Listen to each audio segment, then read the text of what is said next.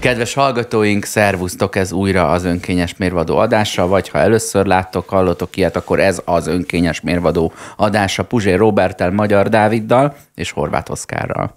A magyar közvélemény elsősorban Orbán Viktor tartja felelősnek a kegyelmi ügy miatt, derül ki a Republikon intézet felméréséből. A kormánypárti szavazók mintegy 10%-a nem hiszi el, hogy a miniszterelnök csak a sajtóból értesült a döntésről. De alapvetően a volt köztársasági elnököt Novák Katalint és Balogh Zoltán püspököt tartják felelősnek. A közéletből szintén távozó Varga Judit, volt igazságügyi miniszter felelősségét pedig alig emelték ki a válaszadók. A kutatás készítői szerint Varga Judit megítélésében nagy szerepe lehet volt férje Magyar Péter megszólalásainak. Hát három százalék. Kis lépés. De meg lehet, hogy nem az utolsó lépés, hanem épp az első lépés. Már csak 15 ehhez hasonló ügy kell, és a Fidesz előnye el is olvad. Persze ehhez az is kell, hogy az ellenzék egyetlen szavazatot ne szerezzen. Ez most nagyjából meg is valósult, mondom, 15 ilyen ügy, a lényeg, hogy lehetőleg azért az ellenzék ne jusson szavazathoz, mert ezzel megint csak a NERT erősíti. A, a, abban az esetben, hogyha a DK ebből bármennyi szavazatot is megszerez, az újra megszervezi a Fideszt függetlenül mindentől és bármitől. Na jó, de ha a kormánypár támogatottsága gyengül, az ellenzéki nem növekszik, az is a NERT erősíti, mert akkor lesz egy csomó bizonytalan nem, szavazó. én azt hiszem, hogy nem. Én azt hiszem, hogy nem. Én azt hát hiszem, hogy pont, de nem, pont azok a bizonytalan szavazók lesznek azok, akik majd annak a népfrontnak a bázisa lesz, lesznek, amely népfront a Fideszt az ellenzékével együtt fogja elsöpörni, amikor ennek a rendszernek vége lesz. Hogy mikor fog ez a népfront megszerveződni, hogy mikor fog ez a pillanat eljönni, azt most még nem látjuk, de hát az első lépésnél vagyunk. Most három százalékot vesztett a Fidesz.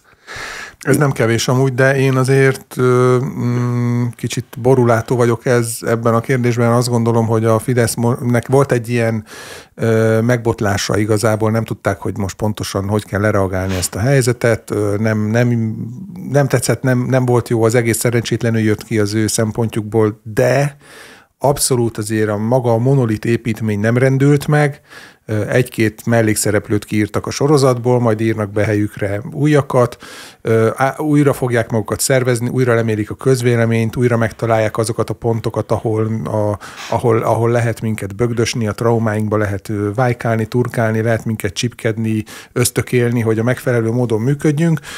Újra lesznek kedvezmények, jön a választás, kapunk majd ilyen, meg olyan kedvezményt, meg esziát, meg csokot, meg nem tudom mit, tök mindegy, ki lesz találva, 19. havi nyugdíjat, akármit, és a végén ugyanúgy meg lesz a stabil, biztonságos, betonszilárd előnyük, mert minden erőforrásuk adott hozzá. Tehát igazából nem látszik, hogy csak ez... A, csak az erkölcsi nem, bárki. csak az erkölcsi. Hát, az erkölcsi hiányzik. Figyelj, az a, minden más tényleg. De, de azt mondja, hogy minden erőforrásuk megvan, hozzá az erkölcsi erőforrás, az nem kell de, ehhez. Egyébként az, az, Nagyon is megvan, de az is megvan. Mert az emberek többsége még mindig elfogadja, tehát a szavazók többsége elfogadja azt, hogy ebben az ügyben Orbán Viktor nem érintett. Még az össznépességen belül is kevesebb, mint az emberek fele gondolja. Hát a republikon mert, szerint nem. A Republikon hát pont azt mondja, hát a hogy még a Fidesz belül... szavazóknak is a 10%-a gondolja úgy, hogy ez lehetetlen, hogy nem tudott róla, vagy a 11%-a a Fidesz szavazóknak csalódott, de közben csak 3%-ot vesztettek, azaz, nyilván ez nem ugyanannak a két dolognak a, a százaléka, de a lényeg az, hogy attól még, hogy valaki csalódott, a szavazata sokáig ott marad ahol, és ezt át tudom élni. Tehát van Meg... az, amikor azt mondja, hogy hát igazából ezek se jobbak, és akkor utána három évvel évvel később mész és behúzod az X-et. Meg, meg most nem azért mondom, de mi olyan dolog derült ki, amit az emberek nem tudtak. Tehát az, hogy például rendszer szintű korrupció, meg urambátyám ö, világ van, ezt, ezt mi, mióta tudjuk, mert tényleg már gyerekkoromban is így volt.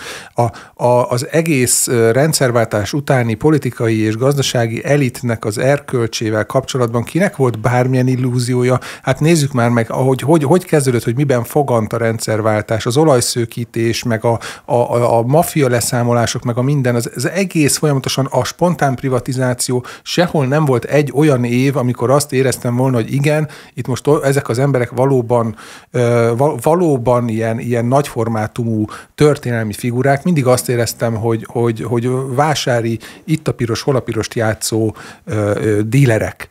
És most ebből, a, ebből az eresztésből van egy tehetségesebb, erősebb garnitúránk, de hát ugyanazt játszák, ugyanazt a játékot, és ugyanúgy meg fognak minket győzni, mint ahogy az elmúlt 30 évben folyamatosan meggyőztek, hogy igazából ők a legjobb választás, hogy nekünk ez a legjobb, amit választhatunk. Ez, itt nem, nem, ez a 3% ez egy egyszeri eset, ilyen botrány már a következő se fog ekkorát durranni, mert, fel, mert emelkedett az inger küszöbünk, tehát már nem, fog, nem csattanna ekkorát. Most mi derülhet még ki, ami, amivel népszerűséget vesztenek? Én azt érzem, hogy te azért vagy ennyire, ennyire pessimista. Realista? mert mert félsz a pofára eséstől. És nem mered elhinni, mert már annyiszor estél pofára, és mindig ilyenkor, amikor pofára esés van, ilyenkor magát érzi az ember hülye baromnak, hogy úristen, hogy hihettem már el, hogy lehettem ennyire Rászettek. hülye. És, és annyi, annyiszor estünk már pofára, egyébként a magyar válogatottnak való szurkolással is így van az ember, hmm. hogy így szurkol a magyar válogatottnak, aztán mindig szembe jön, jó, ez egy... Ez egy, egy Andorra, vagy igen, egy igen, igen, igen, igen, vagy, vagy egy Izland. Egy, egy fajsúlyos igen, igen, igen, Azerbajdzsán, és akkor, és akkor az ember mindig a fejéhez kap, hogy úristen, már megint elhittem, hogy hihettem el. És, és ugyanez van a, a, a remélt rendszerváltással is. És egy idő után az ember megkeseredik ebben, és azt mondja, hogy inkább készülök a rosszra, a legfeljebb, legfeljebb kellemes meglepetés ér, és akkor a, abban fogok csalódni, a, a saját prognózisomban fogok csalódni, de nem az országban, nem a magyar válogatottban. Jobb, készülök a rosszra, jobb. készülök a rosszra, és a, szinte biztos, hogy a rossz fog történni, de ab, akkor abban a rosszban meg fog vigasztalni engem az, hogy legalább igazam lett. Nem akarom a bárki másnak a célját eltéríteni, elrabolni. Az ellenzék egyáltalán nem tudta maga jaravára fordítani a kegyelmi botrányt. Hál' Istennek. De Még nem, csak is, kéne. de nem is a maga javára kell. Tehát engem most zavar, hogy 7 perce arról beszélünk, hogy a Fidesznek hogy alakul a népszerűsége, és már elveszik a fókusz, és ezért visszarántanám arra, hogy egyébként hogy kezelik magát a gyermekvédelmi kétségeinket, mondjuk úgy. Hogy például feldobnám azt a, azt a, azt a problémát, hogy a, valóban a törvényekben van-e a probléma, vagy azoknak a betartatásában van a probléma. Tehát amikor azt mondjuk, hogy súlyosan korrupt, vagy nem a gyerekek ö, megvédésével és gondozásával ö, ö, teljes a, az egyébként is rettenetes sorsú ö, ö, mondjuk intézeti rendszer, akkor jön rá egy reakció, hogy oh, már hoztunk egy törvényt, hogy a köztársasági elnök legközelebb ilyet ne csinálhasson, aztán utána, de utána, utána jönnek következő intézkedések, hogy mihez kötjük a, a az intézményvezetést, meg tudod, mi lesz egy-két embernek a kiválasztásával. Engem viszont az aggaszt, hogy attól még, hogy az volt a törvény eddig, ami, és az lesz a törvény ezután, ami, ki az, aki betartatja, azaz az ellenőrzésnek a rendszere hát megfelelő hát reformokon persze, megye keresztül. Igen. Aztán vannak, akik azzal mentegetőznek időnként, hogy egy, ugye nyilván a pedofiloknak van egy olyan köre, aki soha egy újjal gyerekhez nem ér, egyszerűen az ő személyisége az talán meglátja magát a tükörben, és érzi, hogy ez, ez nem, ez tudjuk, hogy ők nem való a világban. De Viszont ha ez pszichopátiával párosul, ha teljes lelketlenséggel, hát, vagy, vagy egyszerűen olyan, olyan, olyan öntudatossággal, hogy már pedig neki ez jár, és ezzel semmi probléma nincsen, sőt, ezért tették ide, hogy jól érezze magát, ezeket az embereket nehéz kiszűrni, Ugye mindig beszélgetünk itt, hogy így pszichopata, meg úgy pszichopata, de nehéz ezt az embert azonosítani. De ez ne legyen mentség, mert az áldozatoknak a viselkedésén viszont lehet látni valamit, hogy ha van mentálhigién és támogatás a óvodákban, általános iskolákban, középiskolákban, amihez hozzá is lehet férni, illetve ha nem hajtják el minisztériumokból a különböző panaszt tevőket, hogy hát ez komolytalan, akkor azért talán egyszer-egyszer fennakad a horgon ö, valaki, még ha nem is ő kapja be de, a csalit, még ha nem is ő látszik lenne, a radaron. A legjobb az lenne, nem is akadna fönn a horgon, mert az egész rendszer minden elemében azt sugalná, hogy meg se próbálja, és meg sem próbálná. Erre vonatkozik mert hogy legyen, legyen az embernek... az odaérkezőket, csak tudod, az is, amikor de nem, nem csak szűrni. Csak a vezetőt szűri á. Én azt mondom, hogy Persze. szűrje az összes ott dolgozót, de akkor meg arra azt lehet mondani, hogy figyelj, ezért a pénzért, meg ilyen szomorú körülményekkel, meg sorsokkal találkozni és munkát végezni, tudod, hányan mennek oda? És akkor nem azt mondom, hogy Jó, akkor de... örüljünk annak is, aki pedofil, hát persze, hanem azt mondom, hogy rohadtul nincsen keret arra, hogy helyes, de rendesen legyen, legyen de legyen. Tehát tudod, Tessék, ha igen, arra legyen. van keret, hogy akárhova akkumulátorgyárat építsünk, és az, és az akkumulátorgyárhoz autópálya menjen, meg, meg mit tudom én, de az plusz, fontos. meg plusz áramellátás, meg akármi, persze. Most a hogy lelenc nagyon, gyerekek? Most nem stadionokra áll. van pénz, erre van pénz, amarra van pénz, erre muszáj, hogy legyen, mert hogy ez, ez prioritási listán, ez előrébb van. Ne a, a, na most az... Na, lehet, hogy velük fognak az, akkumulátorokat összerakatni, és akkor megoldódik. Jó. Ezt még látom. Hát ez így stratégia. A pedofilokkal, vagy a gyerekekkel? Nem mindegy, a lényeg, hogy jó legyen az akkumulátor. Rendesen hogy csinálják a, maguk. El, elkészüljön az akkumulátor. Na, szóval arról van szó, hogy most Orbán Viktor ö, ír egy törvényt erre a konkrét esetre, hmm. hogy ez ne történhessen meg újra. Mennyi az esély rá, úristen? De, hogy de hogy a, le, a jövőben ilyen módon ne lehessen egy pedofilt vagy pedofil bűntársat, úgy értve, hogy nem, itt nem a hajlamot értjük, hanem az elkövetést, tehát egy gyermekmegrontót, vagy gyermekmegrontó bűntársát ilyen módon ne lehessen kegyelemben részesíteni, és ez beleírja a törvénybe, mintha Magyarországon Mm, a törvény uralkodna. Mintha Magyarországon az alaptörvény szabályozna az életet, vagy mintha ez egy törvényes, úgymond jogállam lenne. De hát a de, probléma de a, helyzet, a, probléma, a probléma az, hogy itt most Orbán Viktor ezzel tömi be a magyarok pofáját, hogy itt van egy törvény, ez a törvény majd nem teszi lehetővé, hogy a köztársasági elnök megkegyelmezzen egy pedofil bűntársának. De mi lenne akkor, hogyha olyan köztársasági elnököt választana Orbán Viktor, mondjuk aki nem hazudozik a múltjáról, ahogyan az ö, ö, kiderült a legfrissebb köztársasági elnökkel kapcsolatban, hogy hoppá, egy Dózsa Lászlót sikerült köztársasági elnöknek választani. Nem a továbbvalótlanságot az apja múltjáról. Jó, tehát nem, nem hazudik arról, ami az, a, az apjával zajlott. Most lehetséges, hogy az apja hazudott ő neki. Minden esetre ő nem járt utána a dolognak, minden esetre senki nem kérdezte, hogy ki volt az apád öreg, hanem ő ezzel így elhencegett, elhencegett a hazugsággal. Az apja apja hazugságával, vagy a sajátjával, akárhogy is. Mi lenne, hogyha mondjuk lenne erkölcsi integritásotok?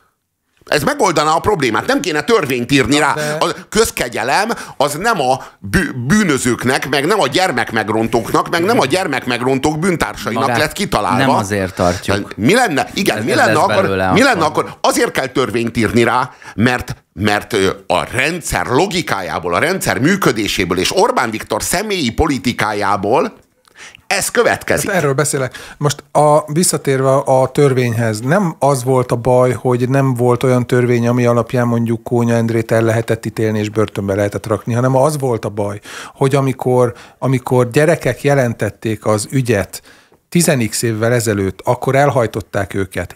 Akkor is volt törvény, akkor is volt erre megfelelő jogszabály, ami megvédte volna a gyerekeket, csak azt mondták, hogy jaj, gyerekek, ilyet nem illik mondani az igazgató bácsiról, léci ezt most fejezzétek be. Egy, kettő, a rendőrség nem, nem nyomozott, mert úgy gondolták, hogy hát azért mégiscsak ez egy rendes ember, mert szeretik a, ezek meg azok a politikusok, meg kitüntetik, meg mit tudom én, hagyjuk már ezt az ügyet, biztos néhány hülye gyerek beszélt. Akkor is volt törvény, és amikor kihozták a börtönből kegyelemmel, akkor is ő már bekerült. A megfelelő törvény alapján őt elítélték. A probléma az, hogy valakinek a haverja volt, aki lobbizott azért, hogy kihozzák. Ez nem törvényi kérdés, és ez ezután is így lesz. Ha lesz egy szigorúbb törvény erre, hogy, hogy pedofil bűncselekménnyel kapcsolatban hozható ember ne kaphasson kegyelmet, akkor már egy előző szinten fognak rávigyázni, hogy ne kerüljön börtönbe vagy házi őrizetbe, Ugyanúgy ez lesz a, a hozzáállás, hogy hát a haveromat nehogy már. Na, ö... arról van szó, hogy arról van szó, hogy nem kéne megkegyelmezni. Olyan köztársasági elnök kéne, amelyik nem kegyelmez meg. Na, ehhez mit szólnátok? Na, ez nem lenne jó megoldás? Hogy mondjuk egy köztársasági elnök, amikor leraknak elé egy kegyelmi kérvényt, megvizsgálja, hogy jár-e ennek az én erkölcsi érzékem alapján, ami ugye a köztársasági elnökről lévén szó, a Magyarország erkölcsi érzéke, Igen, tehát a köztársaság mindannyiunk közös erkölcsi érzéke alapján ne vakarjanak ki a börtönből, vagy a házi őrizetből valakit, akinek a, a, a, a erkölcsi bizonyítványa ennyire szennyes, és nem mossák tisztára az erkölcsi bizonyítványát, hogy aztán visszamehessen gyerekek közé, mint Kónya Endre. Na és Mi akkor... lenne, hogyha nem küldenénk vissza ö, gyermekmegrontók bűnse, bűnsegédeit a gyerekek közé? Az, az a helyzet, hogy ezen már túl vagyunk sajnos, tehát, hogy jelenleg ez az egész ügy is már, már csak a hisztérikus fázisban van, hogy a Vásárhelyi János, aki meg majd letölti a, a számára kiszabott büntetést, amikor kijön, akkor biztos vagyok benne, hogy valaki, valaki egyszer így pofán vágja az utcán, vagy valami, miközben ő már letöltötte. És az is lehet, hogy azóta megváltozott. Tehát ez, ez sem lehet kizárni, és nem a mi dolgunk lesz eldönteni, de most mindenki ugyanúgy hörög ezen, az egész ország hörög, és erre az ellenzék és a kormány egyaránt rárepült, hogy ez most egy remek, remek pillanat, most lehet népszerűséget szerezni, és akkor politikai termékké tenni, és nem politikai termék kéne, hogy legyen a, a, a gyermekvédelem, de most az, most Orbán Viktor így, így lóbálja a jogszabályt, hogy én így védem meg őket, az ellenzék meg hmm. közvetlen elnökválasztást, meg ilyeneket akar, mint semmi akkor értelme az egésznek. De Tehát akkor, megint nem a gyerekekről beszélnek. De akkor mi is döntsük el, hogy azt kommentáljuk az eset kapcsán, hogy a Fidesznek merre jár éppen a népszerűsége, vagy azt, hogy mi lenne a tendő. Mert e, akkor én inkább elengedem, hogy legyen, á, legyen politikai termék, tehát nőjön a népszerűsége, ha a feladatot nem látszólag, hanem rendesen de végzik el. De, de, de, de, de, de, nem, de nem a, ez nem a gyerekek védelméről szól, ez az egész ügy. Ez most csak egy egy felfakadása ennek. Ez olyan, mint egy tünetet azonosítani egy betegséggel. Világos, hogy nem olyan, mint a, szól, csinálni, de ez az, a, amire erős a, a, jelzés, vagy visszajelzés a, van a társadalom az étszel, részéről. Az étszel együtt jár a kaposi szarkóma. De az éjsz az nem egy bőrbetegség. A kaposi szarkóma az csak a tünete az éjsznek. Hogyha itt most eh, mi beborogatjuk a sebeket a bőrön, nem fog a betegség elmúlni tőle. Hát ez most ez nem a gyermekek védelméről kéne, hogy szóljon, hanem a feudális működésről, amiben bűnözőket bűn, akár bűnözőknek is megkegyelmeznek, ha jó nertársak. Ez, a, ez az igazi, Na ez itt ez az a... igazi probléma, és ebből itt és most gyermekek megrontása, és a gyermekek megrontásához fűződő ö, ö, közkegyelem, köztársasági elnöki kegyelem tartozik. Egy másik esetben, egy másik ügyben, egy másik tünet kapcsán valahol máshol fog fölfakadni ugyanez a seb. A probléma az az, hogy Magyarországon nem a jog uralkodik, hanem a kegy. Minden ebből következik. Most úgy csinálni, mintha ez egy gyermekvédelmi probléma lenne. És Magyarországon minden rendben lenne, csak a gyerekeket nem védjük meg jól, és most majd, ha jól megvédjük a gyerekeket, akkor minden rendben lesz a feudális Magyarországgal. Hát igen, De a felháborodás az azzal kapcsolatos szerinted, hogy nem a jog uralkodik, hanem a kegy, vagy azzal kapcsolatos, hogy, hogy gyerekek lettek cserben De mindegy hagyva. is, hogy mivel Szerintem kapcsolatos, azzal, is... azzal kéne, hogy legyen kapcsolatos, hogy Magyarországon nem a jog uralkodik, hanem a kegy, és ennek gyerekek ártatlanságát Igen. is feláldozza a rendszer, ha arról van szó. Igen, szerintem is ez most egy olyan, ebből a szempontból egy ilyen tabu területen történt, hogy, hogy hozzá vagyunk szokva ehhez a feudális működéshez, de azt gondoltuk, hogy legalább nem a gyerekek hátán történik mindez, hanem hogy tudod, te már megszoktad, te is megszoktad, a, a lápok is megszokták, hogy, hogy beépítik őket, meg az erdők is, hogy kivágják hmm. őket, na de gyerekek. Valahol máshol van a határ, mint a sitteseknél, de ezek szerint nem ugyan ott van. Hmm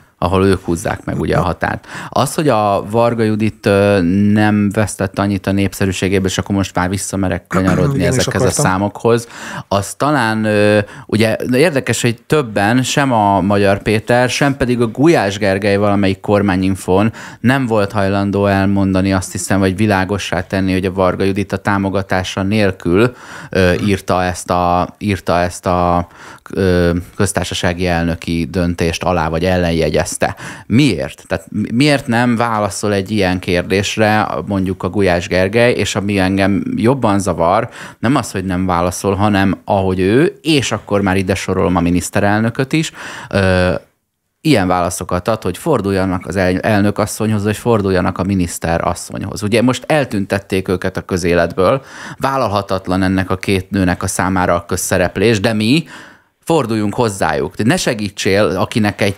telefonhívás távolságra van ez a két nő, majd mi egyesével megkeressük, vagy valahogy eljutunk hozzájuk, és majd mi egyesével megkérdezzük. Ne legyen tájékoztatás, hogy egyébként mi történt, és még mindig csak erről az egy ügyről van szó, és arról ö, nem azt mondom, hogy nem beszélünk, de én ismét megemlékezem, hogy a tavalyi évben több mint 20 kegyelem született, és én anonim módon, de kíváncsi vagyok azokra a vádakra, amelyekkel azt a 20 elítéltet, vagy több elítéltet illették. Egyet tudok még, ugye.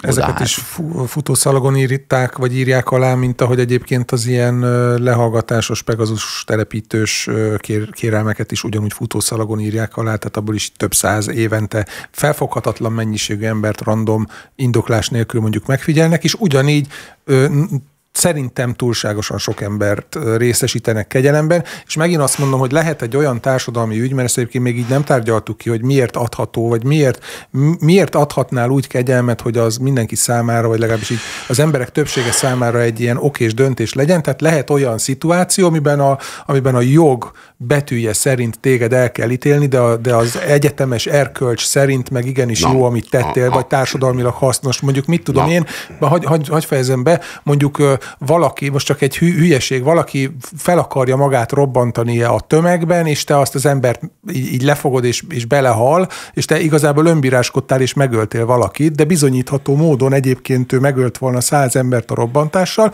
ilyen esetben téged valószínűleg elítélnének, és teljesen jogosan járna az elnöki kegyelem. És mindenki azt mondaná, hogy tök jó, adjunk ennek az embernek kegyelmet, mert egy hős. Na de de ezt akkor jó lenne tudnunk az ilyen ügyekről. Tehát Na. jó lenne látnunk, hogy ezek a kegyelmek hogyan születnek, mert egyelőre egyet láttunk így, ami egyértelműen valakinek a haverjának a kimentéséről szól.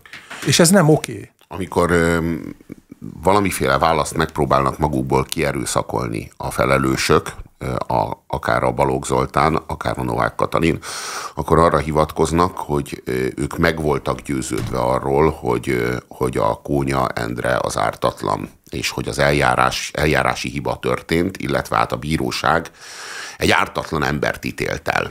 Kónya Endre igazgatóhelyettesként nem tudott az igazgató pedofiliájáról, nem tudott az igazgató megrontási gyakorlatáról a hétköznapokban, nem volt bűnsegéd, hanem őt behúzták a csőbe, és ledarálta őt a gépezet. Ez volt a mondás. Na most az köztársasági elnöki kegyelem nem erre szolgál nem erre szolgál. Ebben az esetben az ügyet újra föl kell venni. Ebben az esetben a tárgyalást újra le kell folytatni, hogyha itt ilyen hiba történt. Ahhoz új bizonyítékok kellenek. Új bizonyítékok kell, hogy, kell, hogy ö, ö, ö, kerüljenek ahhoz, hogy ezt egy ilyen ügyet újra föl lehessen menni, vagy hogy indokolt kétségle, kétsége legyen a köztársasági elnöknek. A, a köztársasági elnöki kegyelem arra szolgál, hogy egy olyan ügyben, amelyben bizonyos körülményeket a bíróságnak a törvény tilalma nyomán nem szabad tekintetbe venni, de azok a körülmények igenis fontosak, azokat a köztársasági elnök mérlegelhesse, és az alapján adhasson kegyelmet. Tehát valójában ez a hivatkozás, ez hamis. Hogyha ő nekik valós kétségük lett volna, vagy újabb bizonyítékokat találtak volna, azzal nekik az ügyészségre kellett volna rohanniuk. Nem pedig a köztársasági elnöki kegyelem intézményével élni. Ezt ezt mindenki tudja, aki a joghoz egy kicsit is ért. De a helyzet az, hogy ez hazugság. Hazudnak, sőt, Balogh Zoltán azóta nem csak azt mondta, hogy ő meg volt győződve, ő továbbra is meg uh-huh. van győződve. Meg, van. meg van győződve arról, hogy Kónya Endre ártatlan. Ha viszont meg van győződve erről, és nem követett el hibát, akkor miért mondja azt, hogy hibázott? Mi volt a hiba, amit elkövetett Balogh Zoltán? Miért volt hiba kieszközölni egy ártatlan ember kegyelmét, ha ő ártatlannak tartja, és ezekre nincsenek válasz. Továbbra. Igen, és az a szomorú, hogy van, visszatérve megint az eredeti hírhez, bocsánat, hogy a, a, kutató, a 21 kutató, kutató központ még azt is mérte ezzel az ügyel kapcsolatban, hogy a kormánypárti szavazók egynegyedének még erősödött is a kormányba vetett bizalma. Na ez a szomorú.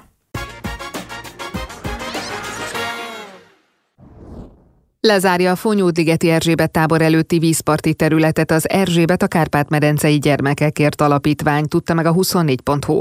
A tábor tulajdonosa az Erzsébet a Kárpát-medencei gyermekekért alapítványa portállal közölte, hogy a tábor mellett közvetlenül elterülő partszakasz 2024-től a tábor területéhez tartozik. Azt kizárólagosan a táborozók használhatják, ami tovább növeli a gyermekek táborozásának biztonságát.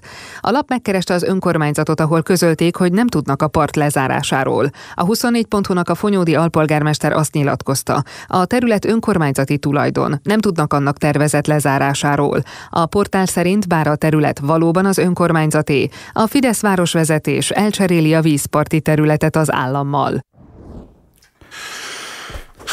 Ugyanazt csinálják, mint amit a kommunisták. Újraosztják a vagyont Magyarországon maguk közt. De akkor mi volt a problémájuk a kommunistákkal? Mi volt a problémájuk a spontán privatizációval? Mi volt a problémájuk azzal, ami a 90-es években zajlott? Hát, hogy ők kimaradtak belőle. Mi volt a problémájuk azzal, hogy Gyurcsány például 5 forintért privatizálta azt, a, azt az úttörő tábort. Az összödi kormányüdülőre gondolsz? Aha, igen, igen. Nem, ott a csúcs az volt az, az összödi kormányüdülővel az a csodálatos, hogy ő azt részletre megvette az államtól, és aztán pedig az állam visszabérelte tőle, tehát ő bérbeadta az egyébként még ki nem fizetett üdülőt, úgy, hogy a, amit az állam fizetett neki nem bérleti díjat, lett, azzal törlesztette. De, igen. Magyarul gyakorlatilag megkapta ingyen. De mi volt a problémájuk akkor, amikor fel, felkérdezték Gyurcsányt a parlamentben, hogy becsületesen és tisztességesen és törvényesen szerezte a vagyonát, akkor ő fölállt és azt mondta, hogy mi az, hogy? Nagyon is. Becsületesen és törvényesen. És akkor ment a szemforgatás, meg ment a hüledezés, meg ment a hiperventiláció, hogy hát, hát, hát ez egy, egy gyalázat, hát ez egy gyalázat mi, mi, mit éreztek? Valójában a felhatalmazást érezték. Akkor ez ér. Akkor mostantól ez ér. Akkor ez nekünk is mhm. ér. De hogy akkor valójában nem erkölcsi fel, ö, ö, felháborodásuk volt, az csak megjátszották. Na jó, de egyelőre ez nem egy magánszemély, hanem egy alapítvány. Ez az alapítvány egyelőre, mert megvannak a kétségeim a, bár a tulajdon további sorsát illetően, de egyelőre gyerekeket táboroztat, és egyébként, ha ezt teszi, akkor kívánom, hogy a gyerekek azok, azok táborozhassanak egy olyan helyen, ami vízpart kapcsolatos. Volt Viszont az a egész... Balaton part kör, kör, egész, te, egész kerületében Balaton. a szolgalmi út biztosításra kötelező. Hiába tiéd a terület, azon az el, legelső nem tudom, hogy hány centin el kell tudjon menni más ember, hmm. valami nem építhetsz a part 50 méteres közelében bizonyos ez, településeken ez nem épületet. Oszi, nem lehet, hogy nem hallottál arról, hogy az egész Balatonpartot kisajátítják. Értem, és itt is az államtól egy alapítványhoz kerül, de érted, különböztessük már meg, hogy itt egyelőre nem szálloda készül. Van, de lehet, de hogy ez azért van, hogy pont én megnyugodjak, mert Így három van. évvel később meg majd az lesz, hogy ó, hát az Erzsébet hát alapítvány, nem működött ó, jó, sajnos igen. nem jön elég Kárpát-medencei gyerek, mert ti nem szültetek igen, eleget, tudod, ezért ez... eltörjük a csokot, ez meg legyen a gyurcsányé, vagy valami. Ez olyan, mint amikor tudod, az van, hogy nem tudom, EU-s pénzből épít a polgármester egy vendégházat, de végül valahogy, valahogy ő lakik benne, mert mit tudom én, letelt az az öt év, nagyon sok ilyen, nagyon sok szabályozásban, hogy öt év után azt csinál, amit Igen, akar. nagyon sok ilyen sztori van, hogy bravo. igazából, és ez is olyan, hogy átjátszuk, és egyébként ennek is van, persze, tök jó, gyerekek táborozzanak, örülök neki, de a, mindig ugyanaz a recept, kiemelt beruházás, nemzetgazdaságilag nem tudom milyen, és akkor mindig így keresztül tolják, akkor nem számít, és nem számítanak a helyiek, nem számít, nem számít mondjuk egy nádas, mert a nádasokat ugyanúgy így tarra vágják, miközben az egész tó, ha értéke van a Balatonnak, az az, hogy a vize tiszta, és lehet benne fürödni, tudod? És hogyha kivágjátok mindenhol a nádast, meg mindent lebetonoztok, akkor az egészből egy pocsolya lesz, egy fertő, és akkor nem fognak oda menni az emberek. De lesz még számít, egy fertőtó. Igen, de nem számít, mert akkor majd arra is kaptok támogatást, mert majd akkor meg kell segíteni a Tiborcs meg mészáros hoteleket, mert nincs elég vendég, amik már egyébként is meg vannak segítve, mert a Covid alatt kaptak iszonyatos pénzeket, aztán ugye kirugdosták közbe az embereket, egyébként meg oda, oda kell menni az összes állami cégnek, meg az összes kormányülés, meg minden franc mindig ezekben van, tehát mindig minden megvan itt tömve. Itt az a baj, hogy, hogy a dolgok nem úgy működnek, ahogy egy normális állam, országban kéne, hogy működjenek, hanem mindig azt érzem, hogy valahogy így megvan hátulról, így tolva erőből, buldózerrel. Na most a, fölös, mondjad, még a, még a Balatonra akartam mondani, hogy, a, hogy ez a, most akkor lezárnak egy parcakaszt, persze ezt látjuk évtizedek óta, hogy folyamatosan így kerül át valahogy a közösből a magámba, és most ez látszólag egy alapítvány, és látszólag közös, de Fogod valójában még látni valakik, az ellenkezőjét is. Lehet, és valakik fogják használni, és akkor eszembe jutott, hogy, a, hogy két ilyen, ilyen klasszikus helye van a Balatonnak, az egyik az Ánkai tábor volt, ami le volt zárva annak idején, ami akkor az úttörőké volt, illetve az aligai kor, pártüdülő, ugye a, a, még a komcsik alatt, a, ami meg úgy keletkezett, hogy valamikor Rákosiék, nem is tudom, 47-ben, vagy nem tudom már mikor mentek oda, és nagyon megtetszett nekik az a rész, Aligán, mm. mert egy, egy oldalról ugye a Balaton van, tehát onnan nem érheti őket támadás, a másik oldalról meg az a magas löszfal, ismeritek gondolom, ilyen nagyon nehezen, szinte ilyen erődítmény az az egész zúg, nehéz hozzáférni, tehát ott emberek laktak éppen, azokat fogták és így kitelepítették, hogy így lehet így viszlát, ennyi volt, és azokban a házakban, meg világban meg beköltöztek, hogy akkor ez milyen jó lesz, akkor most ez lesz a Rákosinak a villája, ez a Gerőnek most a villája. Már mészá, most már mészáros birtok. És most már ők, igen. Viszont addig, ameddig pártüdülő volt, nem, nem hajthattak keresztül rajta a helyiek, hanem meg kellett kerülni. Viszont azóta, hogy mészáros birtok, a jó gazda engedi a helyieket ke, keresztül hajtani, oda kell, oda kell gurulni a, a portához, és a portán annyit kell mondani, hogy keresztül hajtanék és akkor felnyitják neked a, a sorompót, és áthajthatsz rajta. Tehát azért változott a helyzet. Sokkal ezzel, ezzel, hogy magyar kézbe került, a magyar ember áthajthat a mészáros birtokon, és azért ez ezért hálát is, Még egy darabig, hálát, is kéne, hálát is kéne éreznünk, hogy megengedi a, megengedi a nagyságos úr, hogy a birtokán Igen, keresztül hajtsunk. Ott van egyébként Tihany, Tihany ugyanez, a, amikor azt látod, hogy megjelennek világörökségi helyszínen ezek a, ezek a milliárdos uh, oligarchák, meg a politikai, uh, nem tudom, ilyen, ilyen slep, meg plebs, és elkezdenek így mindent fölzabálni, és akkor jönnek ezek a, ugye hát nem lehet ott akármit építeni, akkor kiderül, hogy az úszómedence az valójában állatitató, a, a vendégház az valójában pajta, és akkor lebontják a fél hegyet, meg, meg kivágják az erdőt, meg minden, és, és így folyamatosan mindent fölzabálnak maguk körül, miközben te meg, a kisember, semmit nem csinálhatsz. Tehát ott, ha, ha nem a megfelelő színű cserép van a házadon, akkor az már probléma, mert nem illik bele a tájba, meg a világörökség meg izé, de ő meg akármit csinál csinálhat. Ja, a zuglói izé, hetedik emeleti légkondit azt visszabontatják, mert látszik az utcáról, Igen. és rontja a városképet. Nem az az épület, ami rózsaszín és ja. fonyatteper színekben pompázik, hát, ja. és egy 0-4-es szám van óriásiban a, tudod, az meg oldalán, nem, rohadt jól néz ki, de az ú, a légkondi, meg, azt, azt igen, igen, meg, meg nem a moltorony. Nem a moltorony, a moltorony nem rontja a város. Az, az elférne Tihanyban. Meg nem a hősök tere mögé a rákos Fektetve. rendezőre tervezett mini Dubaj, az nem fogja rontani, hmm. sőt a múltkor ugye azt mondta a Lánszki Regő, hogy még szép, hogy látszani fog, hát az lenne a baj, ha nem látszana a hősök teréről. Tehát így, így kell, konkrétan így, így gondolkodnak. Így kell, így igen, kell. Igen, lássad már, hogy a méltóságos úrnak mekkora a pénisze, mert itt erről van szó. Konkrétan látni lehet, hiszen az egyik mellékhelyiségbe be lehetett látni távolról, vagy az utcáról, mert olyannyira, panoráma WC. Olyan, olyannyira, hogy a, hogy a moltorony az annyira fallikus, hogy még heréket is gyártottak mm. hozzá kisebb, kisebb épületekből, mm. és még a fitymafék is le van gyártva hozzá. A, az, az, egy, az egy teljes, te, minden ízében, az maradéktanul. Tehát ott a magyar ember megélheti az alávalóságát, meg a Budapest. Budapest, oda vörös rongyokba öltözött város megélheti azt, hogy itt van egy hatalmas, meredező nerpénisz, amivel ő itt, ő itt szeretve van, szeretve van.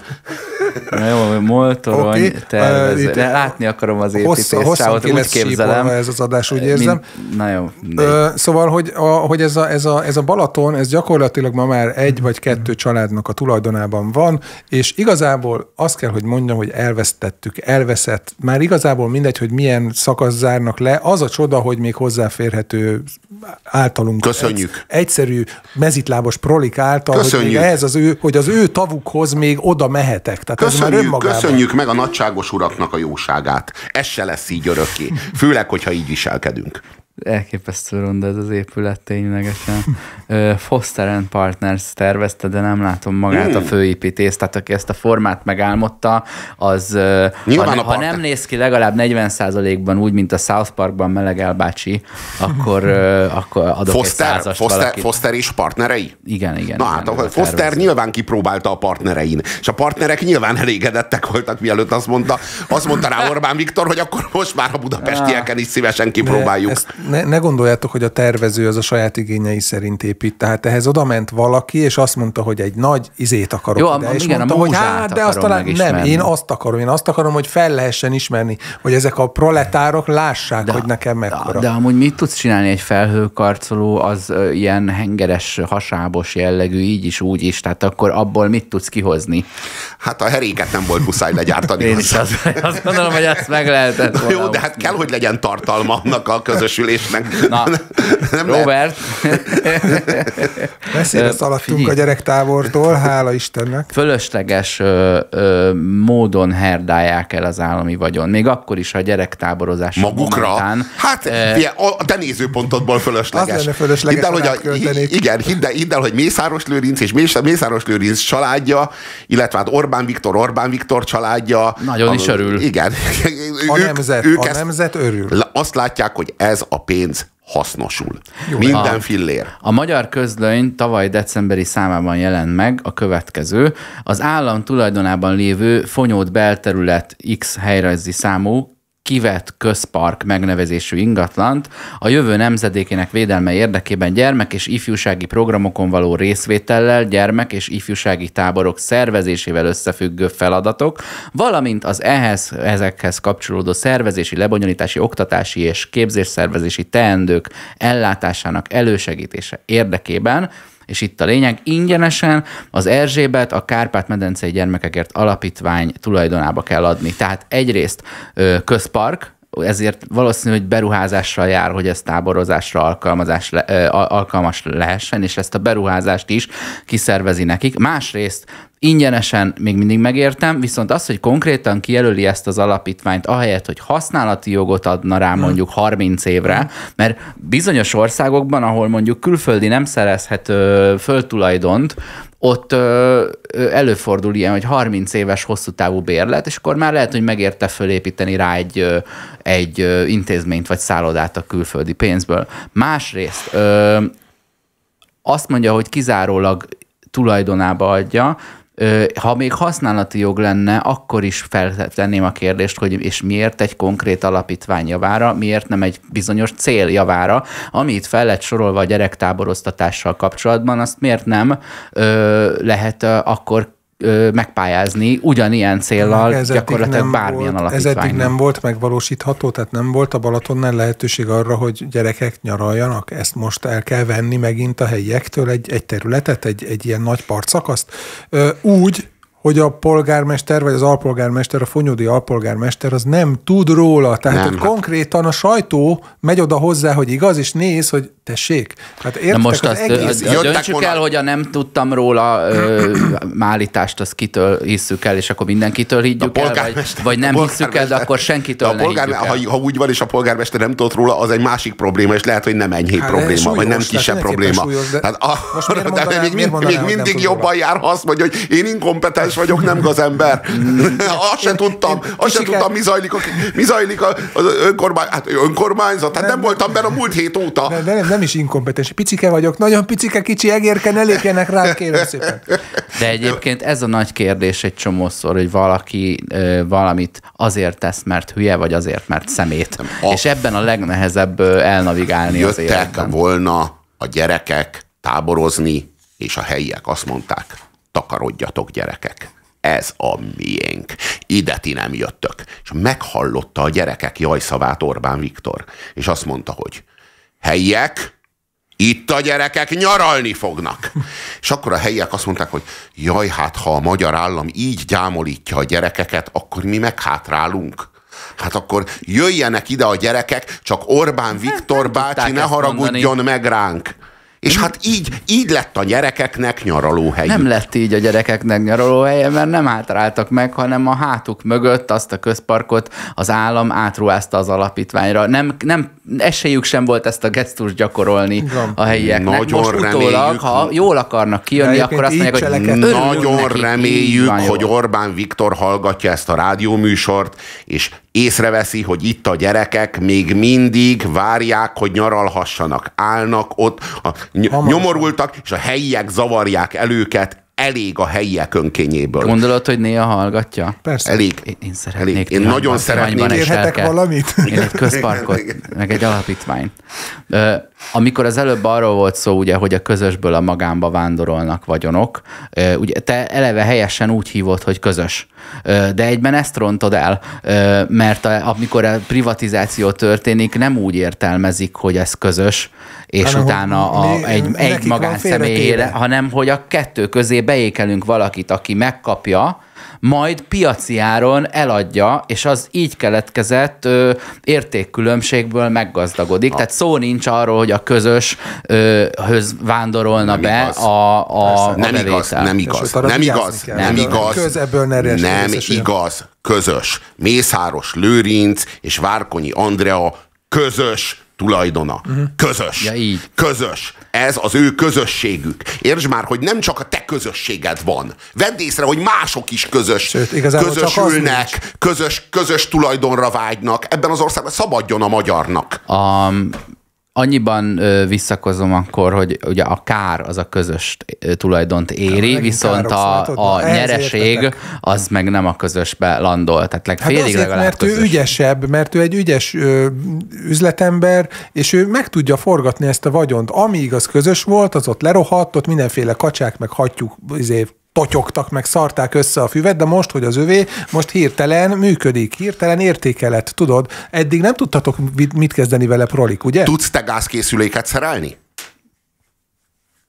Mondd, hogy tudsz. Még nem próbáltam. Akkor ne pofázzál, akkor ne pofázzál, jó? Akkor ne pofázzál. Nem véletlen, hogy nem te lettél az. Na most azt ö, találtam felfesteni a jövőre, hogy fog ez még megfordulni, azaz a közösből a magánba helyett magámból a közösbe lesz, ami nem egy restauráció, hanem az államosításra gondoltam, ahol viszont megint csak nem közösként értelmezik, recept, hiszen nem a közösbe tolják vissza, hanem a hatalom alá, nem a népé lesz, hanem hát, a hatalomé. Hát, hát meg, meg figyelj, a Visontai hőerőműnél lehetett látni, hogy amikor, amikor megvette Mészáros Lőrinc és kifosztotta az erőművet, utána hirtelen annyira veszteségessé vált, hogy nem lehetett tovább működtetni, és akkor az állam sietett a segítségére, és azt mondta, hogy visszaveszem, és valami ötszörös áron visszavette, mint amennyit ért. így a közös, az államosítás se jó, mert akkor meg az történik, hogy pont a közös vagyomból bőkezűen mentik ki ugyanazt az embert, aki előtte már egyszer kifosztotta. Ne irigykedjél. Ez egy, az irítség egy rútemberi tulajdonság, Dávid. Tudom azért lehet, hogy gázkészüléket nem tudok javítani, de azt én is meg tudnám csinálni, hogy valaki ad kölcsön 800 millió forintot, hogy vegyek meg egy vállalkozást, azt megveszem, és utána gazdagodom belőle, és üzemeltetem, és egyszer csak azt mondjuk, hogy tudod, mint elég lesz 250-et mhm. visszaadni, vagy tudod, mit, mit úgyis már megfektettük azt a bankot, amelyiktől kaptad. Az a baj, hogy előre. ezzel már én is gondolkodtam, hogy ezt meg tudnám-e csinálni, és rájöttem, hogy nem. És nem azért, mert, mert ezt így technikailag lehetetlen. Nem szellemi akadályai vannak. Hát az a baj, hogy, hogy gerinc problémák Aha. vannak. Tehát, hogy én ezt nem tudnám. Én egyszerűen ebben nem tudnék részt venni, mert szeretnék, tényleg, tehát akar, akartam, törtem magam rajta, hogy valahogy, valahogy vonulj már be ebbe, tudod, hogy befogod a pofád egy kicsit, odaállsz a megfelelő helyen, nyalsz egy kicsit, előbb-utóbb így közelebb kerülsz az, a tűzhöz. Nem, ezt nem lehet. Magyarság, defi- nem lehet. magyarság deficited van. Igen, hm. ezt nem lehet így megcsinálni. Ilyenkor nekem mindig azon kezdek el gondolkodni, tehát én nem tudom kijelenteni, hogy valamit biztosan nem csinálnék, hogyha most valaki felajánlana mondjuk egy állást, amit egyébként is olyan, mint amit csinálni szoktam, de négyszer annyit fizetnek érte, akkor akkor azt gondolom, hogy hát tulajdonképpen megér négyszer annyit. Hogyha olyat ajánlana föl, ahol 40-szer annyit ö, fizetnek érte, akkor már két dolog közül az egyik vetődne fel bennem. Az egyik az, hogy kit károsítok meg azzal, hogy túl fizetnek, a másik az, hogy engem károsítanak-e meg.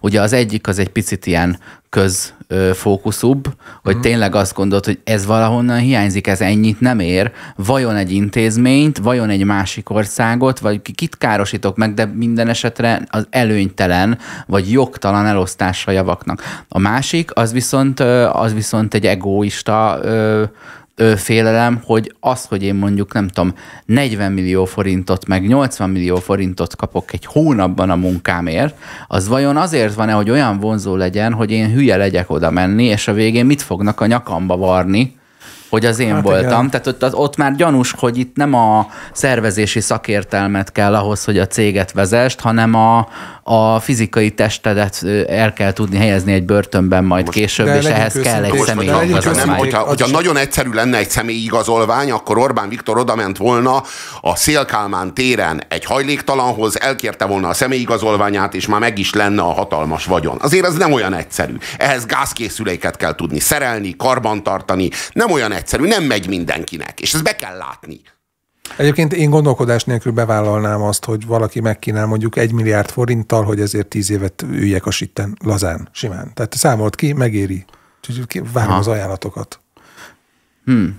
Na mondjuk ez egy, ez egy érdekes kérdés, hogy a szabadságvesztéseddel tulajdonképpen senkit nem károsítasz meg a családodon kívül. Tehát hát ilyen mindenképpen idegeneket, el... akik erről nem Figyelj, ő ezt a bűncselekményt mindenképpen el fogja végezni, csak egy balek kell, aki ezt leüli helyette. De ez akkor, teljesen, Dávid, akkor, ez, egy, ez egy korrekt üzlet. Akkor kifizeted azt, amennyibe kerültél az államnak abban a tíz évben. Tehát te kapsz 10 milliárd forintot ezért, a te egy ellátásod egy évben 1 millió 200 forint, vagy mit tudom én, Fogalmam azt kifizeted.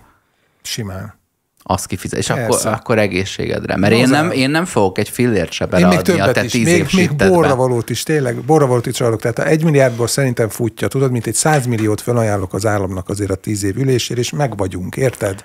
Amikor arról van szó, hogy kit károsít meg egy, egy mondjuk azt, hogy túl jól sikerült haszonszerzés. Tehát mondjuk egy dupla fizetés, ami tök elképzelhető, mert Magyarországon csomó ember kap kétszer annyit ugyanazért a munkáért, mint valahol máshol egy másik, aki kevésbé jól, tud, jól tudott alkudni, vagy egyszerűen nem jó helyre született de ahogy, ahogy ezt növeljük, akkor felmerül az, hogy jó, ez most megkárosítja ezt a céget, és akkor ránézel a tulajdonosi körre, Mercedesek hadán ücsörögnek, ott folyik a zsír a szájukból, azt mondod, hogy na ez onnan nem fog hiányozni. De amikor arról van szó, hogy egy alapítvány, vagy egy non-profit szervezet, hogyha ott magas fizetést veszel fel, amin tök normális, hogy fölveszel hát fizet, sőt, legyen hát magas, persze, hogy fölvet, legyen, ő aztán tényleg nem legyen magas, hogy érdemes legyen jó minőségű emberekre bízni azt, hogy egy karitatív célú tőkét azt hogy használnak fel.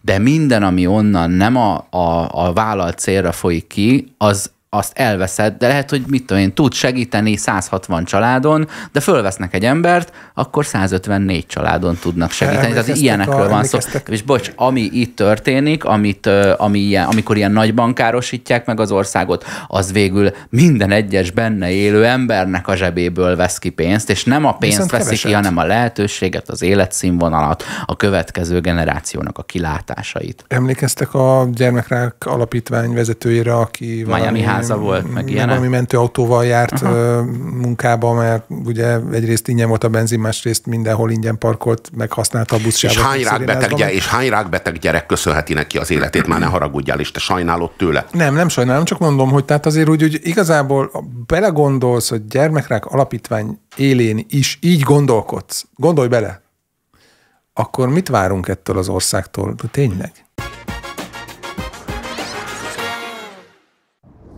Az autók életünk fontos részei, nem csupán közlekedési eszközök, hanem az életünk számos területét átformáló tényezők. Az autók megváltoztatták a mindennapjainkat, kényelmesebbé téve az utazást, rövidítve az utazási időket és lehetővé téve számunkra, hogy távoli helyekre is eljussunk. A gyorsaság és kényelem mellett az autók hozzájárultak az életünk kulturális és társadalmi dimenzióinak alakításához is. Az autók kultusza, az autós mozik, a drive-thru éttermek mind-mind az autók által inspirált kulturális jelenség cégek. Az autók általános elterjedése számos iparág fejlődését is elősegítette, új munkahelyeket teremtve és gazdasági növekedést hozva létre. Az autó az nem csak egy közlekedési eszköz, hanem sokkal több ennél. Szerintem, Robi, veled beszélgethettük ezt évtizedekkel ezelőtt talán, hogy az autó az így ilyen kiterjesztett test, hogy az, abban te, te egyel nagyobb vagy, egy más, mm. más léptékű, más, más biztonságú, más minőségű testet birtokolsz az és autóban. Egy, és egy nagyobb szabadság, egy sokkal nagyobb szabadság. Egyszerűen még egy sokkal nagyobb autonómia. Autonómia, igen. Igen, igen, igen. Tehát hogy ez, ez egész, egész biztosan így van, és nem egyszerűen egy státuszszimbólumról van szó. Tehát tudsz te venni egy 15 éves, vagy 20 éves Suzuki-t fillérekből, a fenntartása sem olyan horribilis, megengedheted magadnak. Nem, tehát nem igaz, hogy az autó az kizárólag a, a, a magas státuszúaknak a hívsága. Az autó az egy, az egy fajta mm, életmódot is kifejez.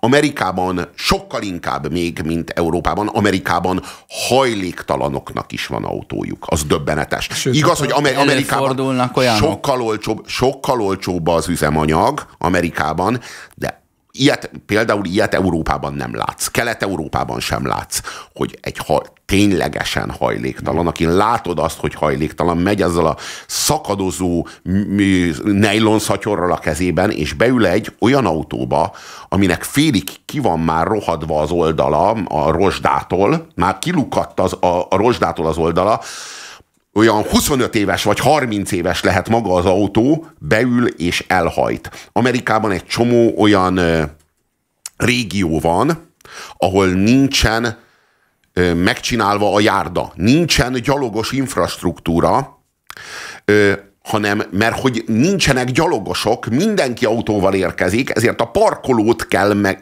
ö, ö, úgymond meg ö, bet, fölbetonozni, meg, meg, megvalósítani, és hogyha mondjuk van egy üzlet, és az, az az üzlet nem költi el azt a pénzt arra a járdára ott az üzlet előtt, akkor az a járda nincs megcsinálva, mert ez nem egy önkormányzati feladat, ott az állam annyira gyenge, bizonyos államokban, annyira gyenge, vagy hogy úgy mondjam, kivonult ebből, hogy ő nem csinálja meg, a, ha, ha erre igény lesz, akkor annak az üzletnek érdeke lesz megcsinálni a járdát, akkor majd ő csinál oda egy járdát. Különben oda egy parkolóra lesz szükség, és azt majd azok az üzletek, amelyek abban a plázában helyet kaptak, majd finanszírozzák annak az autóparkolónak, annak az autós infrastruktúrának a megvalósítását. Most ez már réges-régen nem azt jelzi, hogy van két osztály. Az egyik az autósoké, a másik a gyalogosoké, és ők küzdenek egymással. Amerikában bizonyos államokban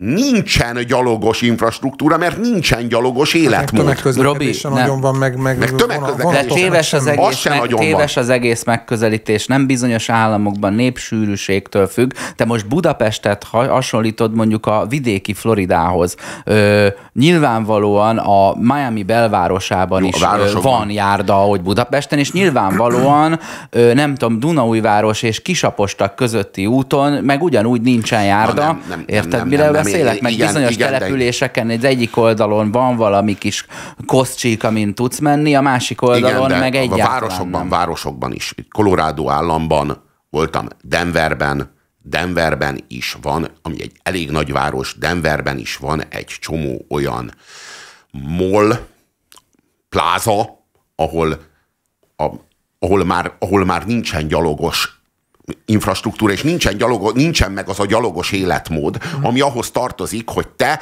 oda megérkezel, leszállsz a buszról, vagy lerakod a, letámasztod a biciklidet, nincs. Ez, ez akkor nem probléma, ha nincs helyette tömegközlekedés. Tehát va, amikor kiszúrják a szemed egy buszjárattal, ami tömve van, és ritkán jár, és kiszámíthatatlan, és sem, sokkal rosszabb, mint a magyar távolsági busz, és plán rosszabb, mint a BKV, az nem tömegközlekedés. Az, amilyen metró metrohálózat mondjuk Washingtonban van, vagy ahogy, ahogy Manhattanben el tudsz navigálni metrókkal, az, az mondjuk rendben van, és akkor, akkor azt mondom, hogy az tényleg nem az autósoknak való hely, tehát ott pont megfordul, Igen, ott drágább parkolni, mint szállást kivenni. New York az hamarabb a, lett nagyváros, mint hogy az autó elterjedt volna. New York az hamarabb lett nagyváros. Los Angeles New York hamarabb lett nagyváros, mint hogy Amerika a, a kontinens belső része betelepült volna. Uh-huh. Uh-huh. Na, és ha, ha már, akkor nyilvánvalóan autókról beszélünk, akkor, akkor egyértelműen a világ legnagyobb autós nemzete az az Egyesült Államok. Tehát ők tényleg fanatikus autósok, fetisizálják az autót. Tehát náluk az autóban fogadnak az emberek, ugye a hátsó ülésen. Az autóból, tehát az, hogy drive-thru, hogy, hogy, hogy nem szállsz ki az autóból, úgy, úgy rendelsz kaját, és az autódban eszed meg, és én itthon is látok olyan embereket, akik, akik meg, megáll az ablaknál, benyújtják neki a kaját, és félreáll a parkolóba, és ott Te még nem csináltál ilyet? De minek? Mi kényelmes az autóban enni? Nem kényelmes. Az otthonod. Akkor ilyen az, az előbb mondtátok, hogy test, szabadság és státuszszimbólum az autó, ezen kívül otthon, fegyver és lakás vagy igen, ház. Igen. Tehát az, az ott a tiéd, ott a, amit elölhagytál, azt te hagytad ott igen. elől. Na, és akkor ilyen autós mozi, autós mise, tehát uh-huh. az mhm. USA-ban minden van. Mondjuk mint a... Autós, van autós házasodás, van olyan, van olyan anyakönyvvezető, vagy van olyan hát természetesen Las Vegasban, hogy drive through házasságkötő. Tehát behajtasz az autóval, ott egy, ott egy ablakon keresztül téged összeadnak a, a csajoddal, és kihajtasz és a túloldalon. És meg egymást? Hát az nyilván, autóban. De külön autóval mentek, nem? Hát úgy, de figyelj, amíg nem vagytok egy pár, hát csak nem mentek egy, egy autóval. Na mindegy. Jogos egyébként. Ez milyen, um, milyen fertő lenne, hogy már eleve egy autóval érkeztek, azért az felvet kérdéseket. Hadd, tényleg, az nagyon gyenge. Hadd a motorizáltságot hadd had öntsem számokban, az Egyesült Államokban 200 280 millió a, autó van forgalomban, tehát regisztrálva, azaz nincs leszerelve a rendszáma. Nagyjából 350 millió lakosra. Tehát e, igen, én 400-ra van. számoltam, de akkor olyan 70 százalék, hogyha, hogyha 350-re számolod, Lehet, hogy 400 akkor, most nem tudom. Akkor meg, akkor meg több. A, a, az, a világon összesen fut 80. másfél milliárd autó durván, ebben a pillanatban másfél milliárd autó van, mm-hmm. és ha mindegyik, én úgy megnéztem a Google szerint két tonna az átlag tömeg, ami soknak tűnik, de mindegy. Egyszerűség kedvéért az azt jelenti, hogy három milliárd tonna anyag, acél, műanyag, gumi, nem tudom értelmezni, ha nem tudom, hogy a Föld tonna. mennyit nyom, meg az Jó, összes hát, tárgy mennyit nyom. Iszonyatos. A, föld, hát a, föld, a Földet hogy méred le? Mert ahhoz földi gravitáció Valahol. kell, hogy lemérd a súlyát valaminek. De hát nem. Hát nem, nincs akkor nem a mérleget, kell, ha lenne, akkor le tud menni. A tömegéhez kell, hogy legyen gravitáció, de a súlyát ettől még tudod. Tehát tudod a sűrűségét. A súlyához is kell, hogy legyen gravitáció. A súlyához is kell, hogy legyen gravitáció. Azt mondom, a súlyához kell, nem a, nem a súly, a, hogy van, a súlyához kell, a tömegéhez nem kell vagy nem, nem tudom, emlékszel -e erre, de hogy az, hogy hány kiló vagy, az attól függ, hogy vonz a gravitáció a, a, a föld középpontja mm. felé. De az, hogy egyébként van tömeged, az, hogy az atomjaid összességének van egy Egyébként szintén földi környezetben értelmezett súlya gramban kifejezve izé 6x10 a 23 darab olyan molekulára, de ettől még van egy ilyen jellemző, és meg tudod mondani, hogy akkor erre milyen erő hat a hold felszínén, meg milyen erő hat a Marsnak a felszínén, tehát hogy attól még, hogy a nem beszélve arról, hogy a Földnek a leges legközepebb pontján kívül minden pontját vonza a Föld gravitációja, tehát az a súly onnantól, érted? Csak a középső, középső egyetlen atom az, amire nem hat ö, gravitáció. Azt akartam mondani, hogy az USA-ban akkor kb. 80%-uk jár autóval, ugye ez függ attól, hogy a, mennyi az illegális bevándorló, tehát hogy most 350 vagy 400 millióan laknak abban az országban, de kocsiuk az lehet. De ezek Be a regisztrált autók simán lehet olyan autó is, ami nincs regisztrálva, és úgy futkosnak jó, vele akkor, a prérin, meg mindenhol. Akkor mondjuk azt, hogy 80 százalék. A Magyarországon ez kb. 40 százalék, mert 4 millió hmm. személyautó van körülbelül 10 millió emberre. Az sem kevés. Szingapúr az súlyos, az 15, 15 százalék, és még azon is is csodálkozom. Uh, ott 850 ezer autó jut 5,5 millió emberre, de ott tudni kell, hogy a nem tudom, 20 ezer dolláros uh, Toyota, a újonnan 20 ezer dolláros Toyota az ilyen 130-150 ezer dollár, mire forgalomba kerül, mert annyi mindent kell biztosítanod autó tulajdonosként, hogy autózhass.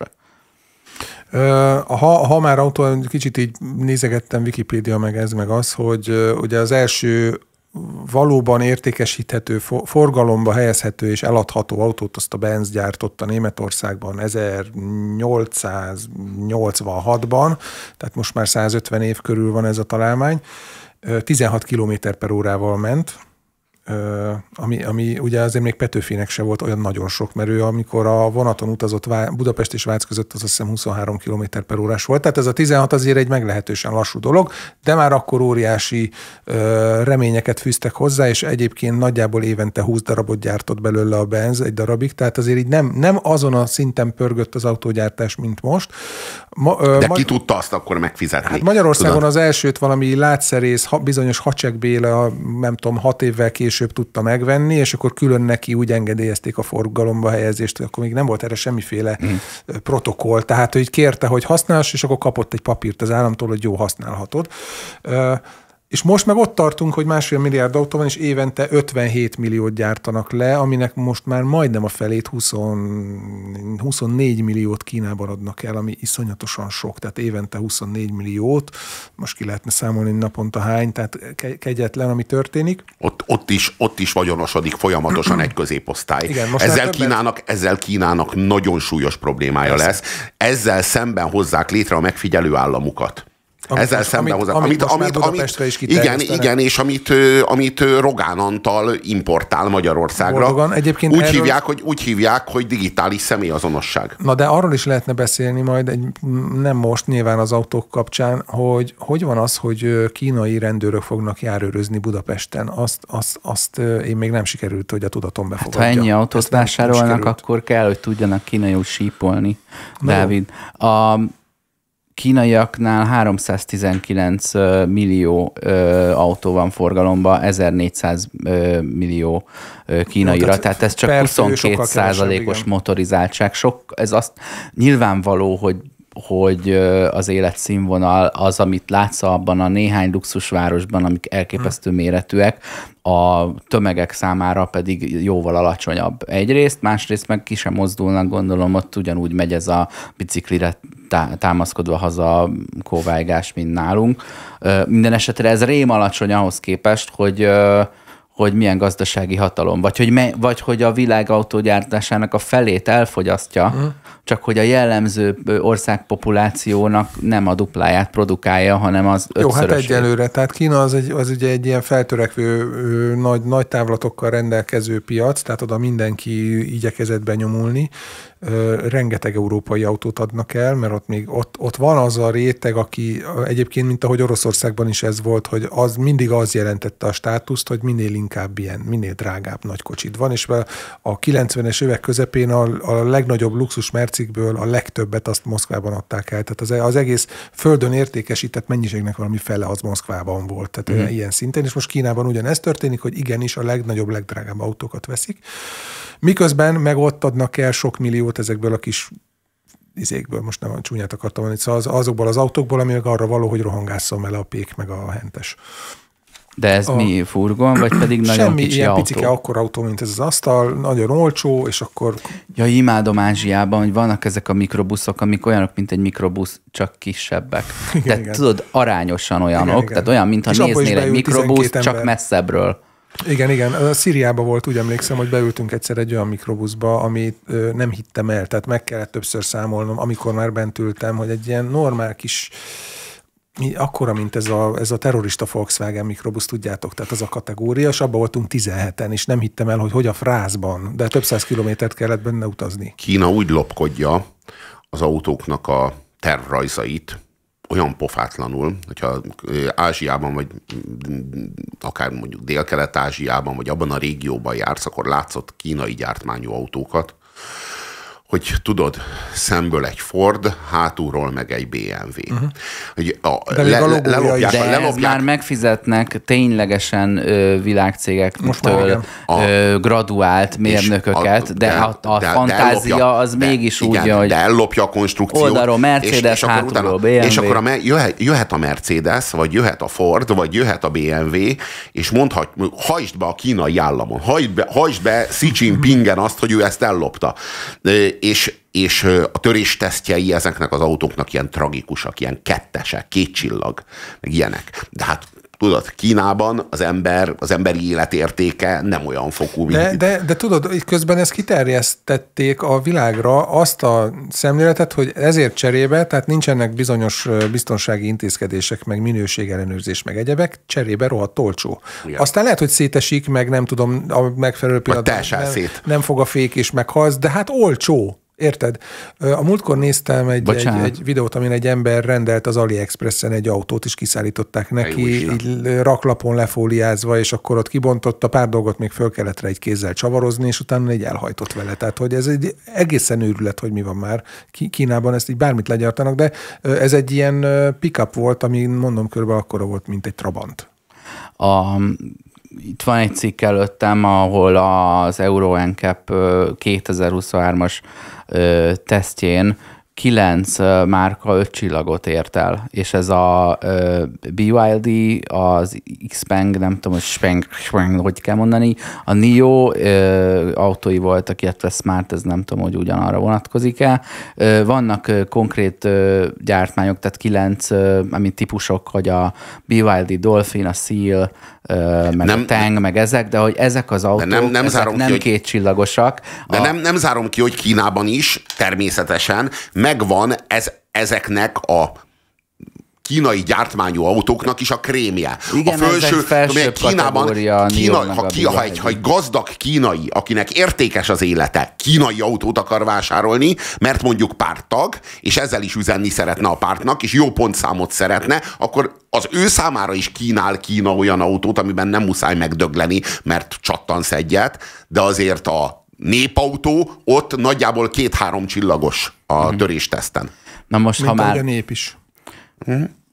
meg a százados, vagy nem tudom ki. A, ha már a státuszszimbólum kifejezés az ö, szóba került, azért ö, Robi, az, hogy 4 millió autó van Magyarországon, azaz nem 8, mint ha Amerikában lennék, de nem is másfél, mint ha Szingapurban lennénk, azért az azt jelenti, hogy bármilyen státuszról van szó, a státusz szimbólum az szimbolizál, és a státusz a státusz. Nem csak azt jelenti a státusz, hogy az a felső kategória, hanem az is egy státusz, hogy én az alsó középhez tartozom. És körülbelül az a beugrója, és minden autónak van egy beugró, ö, hogy mondjam, költsége, nem csak az, hogy megvásárolt, hanem egyáltalán van pénzet fenntartani az éves, havi, heti költségeit annak, szóval azért rengeteg ember tekint még mindig úgy egy általad elérhető, nagyon elérhetőnek felvázolt autóra, hogy a büdös életben nem lesz olyanja, Igen, nem de... tudja hova tenni, nem tudja kifizetni,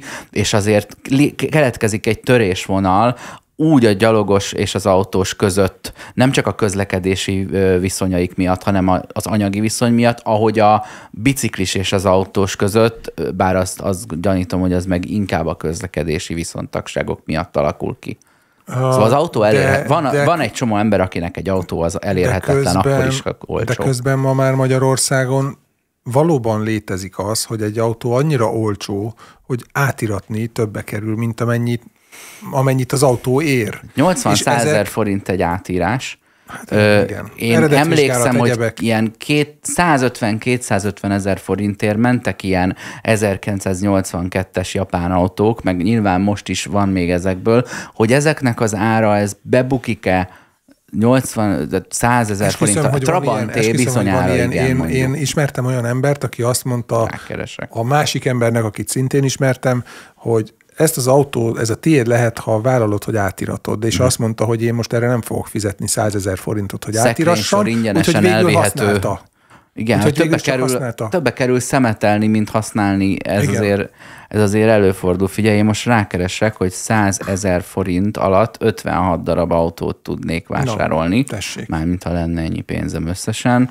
Ö, Gondolom, hogy egy része... Annyi, nem ér annyit török. az alkatrészt, tehát hogyha az alkatrészt külön-külön el, el akarnád adni, nem, kap, nem jön neki a százezer. De ez nem, tehát már nem éri meg foglalkozni Még vele valószínűleg, be. érted? Igen, Ö... nyers vasként sem ér annyit, alkatrészként sem ér annyit, és autóként sem ér annyit. Amerikában... De autóként még ér. Tehát, hogy a autóként hát, ér a legtöbbet, igen. mert ha nem úgy érne, akkor a méhben lenne, nem pedig egy autóhirdetésben. Most ilyen ö, 98-as Suzuki Swift, akkor...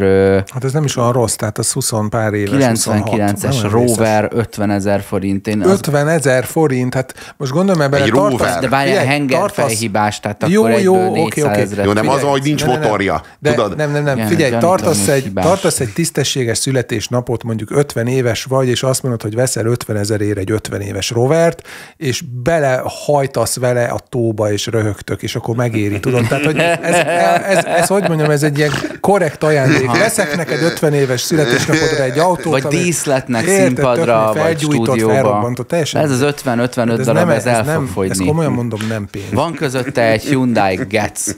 Na, ezt csak akartam mondani, hogy van egy Getz is közötte. Aha. Ö, de hát ez tök jó, hogy van Na, ilyen. akkor én még arra mennék rá itt ebben a dologban, hogy azért mi még mindig, még mindig nem igazán nem érezzük át, nem látjuk át azt, hogy az amerikai ember hogyan van az autójával, de hogy ő nekik tényleg ez az életük. Tehát, hogy tényleg a gyerek ezt kapja már, amint, nem is tudom, még le, le se diplomázik 15 semmit. évesen, az szülői az felügyelettel, 16 évesen önállóan vezethetsz. És akkor nézd meg, hogy kilövik a Teslát az űrbe, tehát hogy az, az hogy, hogy hogyan marketingelsz egy autót, az is az, hogy fölpattintod a világűrbe, mert ez annyira, annyira mencső ez az autó. Szóval az amerikaiaknak ez, a, ez az őrületes becsipődése az autó irányába, ez nyilvánvalóan a, a kultúrájukban, a művészeti alkotásaikban is megnyilvánul és jelentkezik, meg kihagyhatatlan. És hogyha azt mondom, hogy csak rögtön a legkisebb gyerekek már, már a Verdák című rajzfilmet nézik, mert, mert az az alap, hogy az autó az él, az nem csak, nem csak használat, hanem ő maga egy élő lény. Tök nyilvánvaló, hogy a két ö, fényszórója az a két szeme. Tök nyilvánvaló, hogy a, hogy a, a, a hűtőrács az, az a szája. szája. Uh-huh. Tök nyilvánvaló, hogy a, a gázpedál az az akarata. A fékpedál is az akarata. És, az is tök és nyilván... Hát is és az Kipufogó gáz a kakia? A, nem, puki. nem, nem, az a pukia. Az a pukia. És az is tök nyilvánvaló, hogy a kormánykerék, amivel, amivel irányítod, az meg hát, hogy úgy mondjam, a személyisége. A hát azzal, azzal dönt arról, kampója, azzal, amire az, nem, igen, az, az, nem, az nem egyszerűen ez a fajta voluntarista akarat, ami a gázpedál meg a fékpedál, hanem az a, az a fajta... In, már manipulál. Igen, az már egy, az már egy szellemi ö, szféra, az már egy intellektuális döntés, hogy merre is menjünk. Én, Hova vezessen az utunk? Azt gondolom, hogy eszembe a munkáspártnak a... egy régi reklámja, hogy a kormányhelye a bal oldalon van. Az szép. Az már ahol.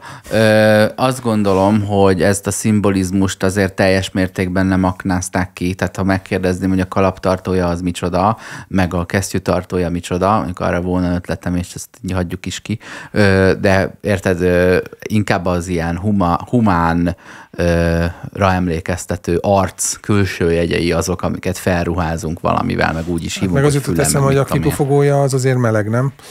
Na mindegy, a, a filmek... A, figyelj, magyarok sem hagyták ki ezeket az ígyszereket, tehát hogy a, Dökkesejű az taxis, taxis az film, film. Nagyon a, jó csodálatos de a meseautó már a 30-as mm. évek mm. kb. Tehát, hogy azért mi sem maradtunk le, mm. nyilván kevesebb film készül nálunk, de az, hogy a film, az amerikai filmek között vannak nagyon autós filmek, az semmi különöset nem jelent, sőt, hiszen annyi film készül, sőt, hogy minden készül. Sőt, van egy autós műfajuk is, a road movie, uh-huh. ami kifejezetten arról szól, hogy az autóban és, illetve motelekben zajlik a cselekmény, ahogy keresztül hajtasz azon a hatalmas országon From Sea to Shining Sea. Az a, az a például a Rain Man. A Rain Man az egy, azért lett egy road movie, mert a Raymond, az autista főhős nem hajlandó felszállni a repülőre, tehát Charlie-nak, az öccsének végig kell hajtania vele Amerikán. De, de mondjuk... autóbalesetben sokkal többen igen, halnak meg, de mint mondjuk, repülőbalesetben. De mondjuk, de mondjuk ilyen a Telma és Louise, ami annyira road movie, hogy a filmnek a végén egy autós öngyilkosságot látunk, mert nem szállnak ki az autóból az öngyilkossághoz. Miért is kéne? Hogy ebédelni, vagy vacsorázni, vagy házasságot kötni nem kell kiszállni az autóból. Miért kéne az öngyilkossághoz kiszállni az autóból? És hát a Gran Torino, ami Azt egyébként nem road movie, de egy autónak egy típusa adja a címét, autószerelem, a az már több is önmagánál. Ott az, az autó az amerikaiság szimbóluma, az amerisa, amerikaiság kifejezője, az az autó több önmagánál, az az autó identitást képez Amerikának de, és az amerikaiaknak. Igen, de ugyanígy identitást képez az autó a Mad Max-ben, csak ott, ott meg a, az apokalipszisnek így a része. A túl, a, az apokalipszissel is jön, de az apokalipszis túlélése is az autóban van. Ö, nagyon hangsúlyos még a félelem és reszketés Las Vegasban is az autó. Tehát Igen. ott is igazából az, hogy eleve egy autó versenyre mennek, meg hát hosszú-hosszú utakat járnak be autóval, és ott, ott zajlik közben a, a trip. Az hát nem autóban az autó. kezdődik a film, és autóban végződik. Igen. um, azt se felejtsük el, hogy az autó az beavászkodott az ilyen rodeónak és bikaviadaloknak a műfajába Igen. is, tehát ugyanazok a az master. emberek, akik pankrációt járnak nézni. Mm-hmm. Autós azok pankráció, az, autók is csinálják egymással. Az a roncsderbi, és ott van az Indiana Car, vagy IndyCar Indy verseny. De hát a Monster ahol, ami, az ne, ami egyébként egy, az tényleg autóversenynek is néz ki, hmm. de a közönsége az még mindig ugyanez a, ez a kör, aki vonzódik, ez a nagyobb, erősebb, ö, nagyszerűbb élmény, izmosabb, igen, erőszakosabb, igen, igen. Létezik, bármilyen. Létezik, sőt a Hungaroringen is volt kamion gyorsasági verseny. Úgyhogy kamionnal indulsz, de gyorsasági verseny. Egy nyerges vontatóval gyorsan, rakomány nélkül.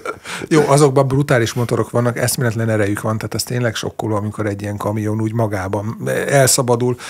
Még egy film a Visszajövőbe, ahol ugye az időgép, tehát megint csak amerikai koncepció, hogy építünk egy időgépet. Miből van az időgép? Hát autóból. Tehát nyilván autóval tudsz utazni És az időben. Autóból, az ami már akkorra szerintem ö, tönkre mehetett ez a gyártó. Igen, igen, igen. Azt már kultikus, kultikus, kultikus, és nincs belőle új. Tehát igen. az egy, a, akkor megvehetsz egy akkori delorean és azt a delorean te felújíthatod, és megőrizheted, mint egy antik autót magadnak, de abból nem Egyfajta tudsz időkapszulát, igen, bár az ugye pont így az nem az volna autó igazából ettől lett kultikus a filmtől, tehát az egy, az egy remek, tényleg egy csodálatos autó, de a film tette világszinten ismerté. Azt hiszem talán azóta sem csináltak acélból autót. Csak most a Tesla Cybertruck, ami meg, amit meg nem festenek le, és olyan, hogyha rászarik egy madár, azt azonnal le kell törölnöd, mert tönkre megy. De ennek ellenére imádják az emberek, mert annyira mocskosul drága. Ez valószínűleg a delorean is így volt. Ja, jó lett volna, ha annak a dizájnját is átörökítik, mert ezt a Cybertruckot tényleg egy, egy gyerek rajzolta, akinek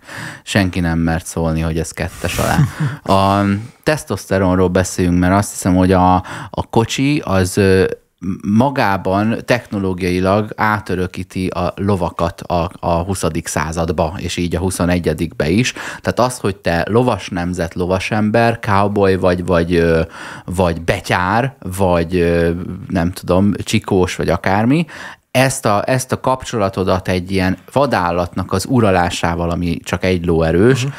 ezt úgy csinál, mintha ez ugyanaz volna, miközben az autó nem támad a a benne ülőre, hanem a benne ülő végezhet mással, meg saját magával a óvatlan, de, de, de nem egy akaratot uralsz le. Mégis valahogy bele tudod költözni kvázi a transzló, úgy, ahogy transhumán tudod, a trans, transpaci, az az autóban igen, van, és, és büszke vagy a, a lóerőre. Lóerőnek hívják, igen. Mikor hivatalosan nem az, hát nem úgy mérik. Is igen, de mégis És tényleg egy, tényleg egy lóerő az egy lóereje? Nem hiszem. Valószínűleg a húzó ereje összemérhető, uh-huh. mondjuk egy ekelvonó uh-huh. munkáslónak az erejével. Uh-huh. Minden esetre ez, ez És érdekes. így elképzelheted, belenézel, így tudod, belenézel a, a forgalmiába az autódnak, mm. és ahány lóerőt ír, azt oda te oda képzelheted a szekered elé. Ez már is egy hintó, ez már nem is egy szekered. De 70, 75 paci, és tudod, a 75 az, az egy ilyen kis autó, de, de, a, de a 75 ló, lovas hintóval én megjelennék, akkor azért az, abból hír lenne. Le, lenne tekintélyed. Hát kicsit nehéz lehet összehangolni, meg hát láttam a múltkor egy ilyen 700 lóerős autót. Igen, tehát azért 700 lóval már nem igazán tudsz itt leparkolni. Az, az nem olyan egyszerű. Ne. 700 lóval? Ja, hogy fizikai ló, igen, a, igen, az állat ló, A lóról beszélek, igen. igen. Hát nem, megállni tudsz Amúgy vele. Az igazi, Tehát, ha, ha egyáltalán tudtál oda menni, akkor ha rá tudod őket venni, hogy egyszerre nem mindannyian meg akarjanak 700... állni, akkor ott Nem, az, az a probléma, hogy 700 lóval nem tudsz átjutni a, pir, a zöld lámpán, mert pirosra vált, amikor már 200 ló átment, de még 500 hátra van. Elég nagy dugók lennének a városban, ha mindenki ilyen lovas szekerekkel járna. Na most ezt a férfiasság meghosszabbító ö, hatását, ezt meg is élik az autósok, és szerintem mindannyiunknak Abszolút, van valamilyen kapcsolódása ehhez, ahol gyakorlatilag elvesztette a harcot a saját férfiasságának illúziójában való tetszelgéssel szemben, ö, és ö, ilyen az például, hogy amikor nem te vezetsz, akkor kapaszkodsz a úgynevezett majrévasba, mintha éppen most, most haltatok volna meg majdnem, miközben pusztán annyi történik, hogy bizalmatlanságod olyan mértékű, vagy pedig fosol, Miközben ültél már kocsiban, mi, mi, mi a baj vele? A legnagyobb fölöslegesség, tehát ilyet akár repülőre is tehetnének, hogy megnyugtassanak, mert abba kapaszkodsz, az mennyit számít, amikor becsapódsz 50 Magába az ugyanúgy, autóba Ugyanúgy kirepülsz az ablakon, ha nem De az viszont, az viszont hasznos, hogyha előtte nem hisztizel, ugye? Úgyhogy jó az a kapaszkodó, valamire Persze, hasznos az a hát. Hát legyen. Hát azért mondom, hogy egy, egy, egy, hogy hívják ez a semmi, egy olyan tudod. Az ilyenkor, ilyenkor, amikor majrézol, ilyenkor az az evolúciós tapasztalat idéződik fel, hogy soha az evolúció történetében erre a sebességre ezzel a testzsákkal nem voltál Igen. hivatott. És hogy ez egy, ez egy és olyan 40, irreális élethelyzet, olyan, igen, hogy ez egy olyan irreális élethelyzet, amiben nagyon könnyű meghalni. És e- e- ebből származik ez a mai. Ezt érzékeli az ember. De milyen a... lehetőség az, hogy egyébként erről leszoksz? Tehát, hogy megfigyeled magadban azt, hogy nem bízol abban, hogy a fiad, apád, anyád izé, izé, feleséged vezet, mégis ő vezet, mert amúgy nagyon szeretsz piálni, tehát érdekes módon azért annyira nem fontos a te férfiasságod és a kontrollmániád, mint az, hogy berughassál, és a feleséged ingyen vigyen haza, és ő persze ne igyon. Hát az, az úr, az, az, eleve úgy, az, ele, az úr eleve úgy utazik, hogy valaki viszi. Tehát az, az, hogy sofőröd van, az már megint egy rang, tudod, és hogyha te berughatsz, és nem te vezetsz, az azt jelenti, hogy te állsz fölötte. Te, ha véletlenül a, a barátnőd visz haza, és ő vezet, és csak ketten ültök a kocsiban, te hátra ülsz a hátsó ülésre, és azt mondod, hogy így a, tudod, a tetejére ütögetsz, hajtson, igen, igen, de az lényeg, hogy be kell mindig szólogatni. Egyébként, ha már tesztoszteron és autó kapcsolatáról volt szó, akkor nekem beugrik Kalambó, aki szintén a popkultúrából ugye ismert, akinek valami rém rossz roncs autója van, ami, ami többször visszatér a sorozatban, hogy ott így füstölög, meg nem indul el, meg minden baja van. Meg mert kisember, meg, mert izé. kisember. És, és pontosan azt sugalja, hogy van az a sztereotípia mindannyiunkban, hogy aki egy ilyen szemétautóval jár, ez egy sikertelen alja nép, tehát az a, az a, az a plebs. De pont ez a cél, hogy ismerj a csúcs. Tehát, De pont ez a Persze. funkciója, hogy ismerjél rá, és tudod, ezeket a nagyon gazdag kastélyban lakó igen, embereket igen. letartóztatja a roncsautójával. De tudod, hogy, de tudod hogy mi az, amit szintén érzel, és bizony 90%-os a korreláció, de nem tény, az, hogy aki szegény, az becsületes is. Tehát, hogy egyszer sem fogadta el, ez nem biztos, hogy így van, mert attól, hogy megölsz valakit a dühödben, attól nem gazdagszol. Tehát nem biztos, hogy de az hogy, anyagi de helyzet az a becsületre 100%-ban rávilágít, de itt az eszköze annak, hogy nem korrupt. De ott zajlik az úszítás Igen. a gazdagok ellen. Tudod, a minden, mindig az a kif, kif, Sajnos. egyszer Sajnos. nem fordul elő olyan, hogy a gyilkos, akire vadászik, ne egy milliárdos legyen, ne egy finansztőkés legyen, egy óriás, óriás kastélyban éljen. De hogy tehető egyszer el... arról, hogy Los Angelesben mindenki gazdag, és aki nem, az pedig törvénykövető. De tudod, mindig gyilkosok Mindig gyilkosok. Sose lopnak valamit. Soha nem az De... van, hogy sikasztanak, vagy lopnak. Robi, vagy bármi... a gyilkossági csoportnak, vagy osztályon dolgozik. És hát milliárdosok, gyilkosok, és hát most mit csináljon? Erről is a Kalambó felügyelő tehet, hogy milliárdjaik vannak, de nem elég, gyilkolniuk kell, és mindig a pénzért. Hát a, aki, aki gazdag, az a pénzéről, most mi másért ne? Nem, azért, van, azért hogy gazdag. a, nem tudom, a szimfonikus zenekar fölötti befolyásért, meg ilyenek. Igen. Tehát például most az Tehát operában az opera büféjért. Figyelj, további tesztoszteron dolog, és ez nagyon, azon kívül, hogy te akarsz vezetni, és nem bírod, hogyha más teszi, ez, ez az automata váltóhoz való ragaszkodás. Uh-huh. Uh-huh. Az, hogy, az, hogy ha, ami, ahogy az autó automatizálódik, pedig már a nevében eleve benne volt, annyira veszi el tőled azt a, azt a lehetőséget, hogy kifejezd, hogy te jól üzemelteted, és a vadállatot megülöd. Most ha a számítógép Igen. csinálja helyetted, akkor az hol fejeződik már ki, hogy figyeld, hogy vettem be a kanyart? Na igen, érzed, de közben az ember nem mondja azt, hogy az én autómban ne szereljenek bele szervót, mert én izomból akarom tekerni a kormányt, de hogy mondasz ilyet? Örülsz, hogy benne van, meg az ABS-nek is meg örülsz, a meg a kipörgésgátnak is örülsz, meg a minden francnak örülsz, igen, mert én olyan menő vagyok, hogy én itt majd izzadok. És egyébként azt sem mondja senki, hogy én szeretném majd a szivatót a megfelelő időben kihúzni, meg visszatolni, meg bekurblizni az autót az elején, mint ahogy 120 éve kellett, hogy azzal indítasz, hogy tudod így tekergeted. Nem, nem, nem, uh-huh. egyáltalán nem érdekel minket, de valami miatt a kézi váltó az így becsípődött, hogy az tényleg az én hatalmam a vadállat fölött. Miközben egyébként ma már Nekem automata váltós autó van, és imádom, mert, nem, mert az egyik kezem felszabadult, és azt csinálok vele, amit akarok, érted? Akár úgy rátehetem a váltóra, és nem váltok. Miért eddig mindkét kezed le volt foglalva? Persze.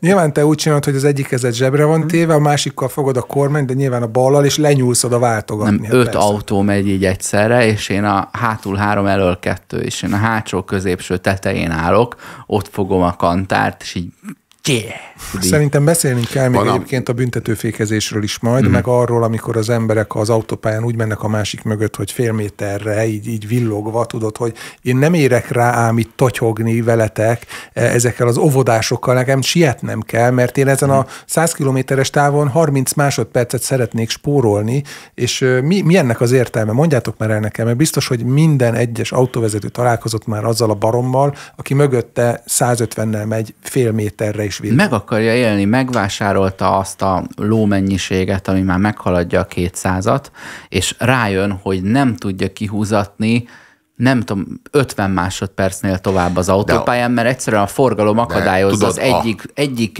járműcsomóból a másikba hát átugrik, és el a, utána... a, a, a, büntető, a, bűn, a büntetőfékezésnek azért nincs értelme, mert tudod, neked van egy nagyobb, drágább, értékesebb autód, de hát már megelőzted azt a roncsot, amit, amivel neked konfliktusod van, mert az is természetesen egy, egy kihágás, meg az is a, a kult, elemi kultúra tagadása, hogy te nem levillogod, vagy nem balindexel elhajtod magad elől azt, aki ott van, hanem a külső sávon megelőzöd. Mm, a külső sávon, sávban. Igen, külső sávon tilos előzni, tehát ha ő a belső sávon nem elég gyors, mondjuk akár mondjuk a megengedett sebesség maximumával megy, te akkor is jelezheted neki, hogy bocs, öreg, te menjél annyival, amennyivel meg van engedve, én többel szeretnék menni, hogyan, a saját jogosítványommal, a saját jogosítványommal játszom, vagy, vagy balindexelsz, vagy balindexelsz, vagy rávillogsz. Hát te, ezek a, vagy ezek az a, ember akkor. Na igen, na igen, de ez, tudod, ez, ez még, ez lehet, hogy nem törvényes, mert többel akarsz menni, mint a megengedett, de ez a kulturális normákat nem sérti. Az, hogy külső sávon előzöl,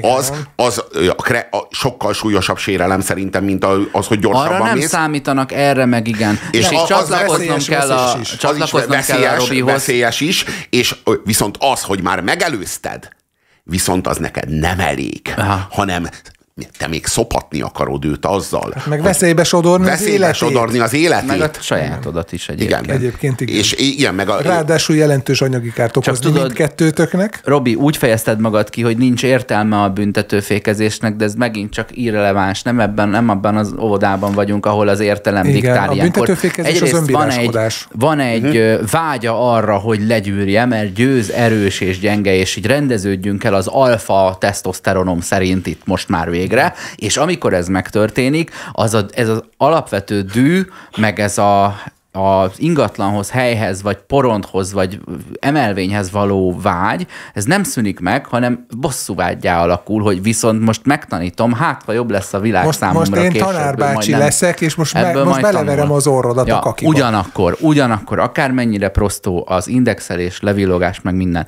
az, hogy az, hogy ott van a külső sávban hely, és pont annyival mész, mint egyébként azok, nincsen semmi különös esemény, amiért nem mehetnél oda, de fel, fenntartasz bárkit azt az egyet, földgyülemlik mögötte 22 autó perceken belül, most nem olyan szinten baleset valaki... veszélyes nem elengedni és engedni akár nem, aha, a sebességet túl, a megengedett sebességet túllépni azt, aki menni akar, sokkal veszélyesebb. De én most nem arról beszéltem, mert az meg a következő csoport, aki akkor is középső sávozik, vagy belső sávozik, hogyha egyébként lehúzódhatna, mert ott nincs semmi, mert, mert nem tudom miért, de az meg a másik, hogy nem szeretnek az emberek a szélén menni kívül, mert az nekik de derogál. a másik is a de nem erről beszélek, hanem arról, amikor van egy kamion, megy 90-nel, te előzött 120-szal, de jön mögötted a fekete BMW 150-nel, és villog, hogy takarodjál már, hát én nem érek itt rá fékezgetni mögötted, mert te itt lassú vagy, mert te nem padlógázzal mész. Én erről beszélek, nem arról, hogy indokolatlanul foglalod hmm. azt a sávot előle,